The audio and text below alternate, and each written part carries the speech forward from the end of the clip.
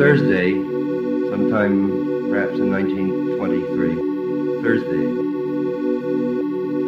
I have had my dream, like others, and it has come to nothing, so that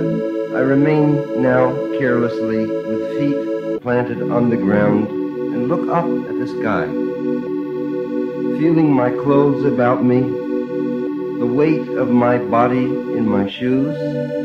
the rim of my hat,